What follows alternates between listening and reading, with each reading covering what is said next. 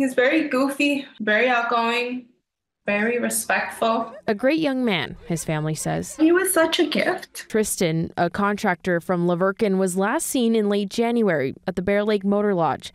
He was staying in Garden City working on a deck. My brother always spoke to us, you know, if not by text, you know, by social media. Samantha White, Tristan's older sister, says she spoke to her brother just a day or two before he went missing. But it was just very out of character for him to not have any sort of communication. We were looking everywhere in Utah, reaching out to everyone, following any sighting that we were being informed of. On Tuesday, 21 Angels, a nonprofit, organized a search and found a body not far from the lodge Tristan was staying at.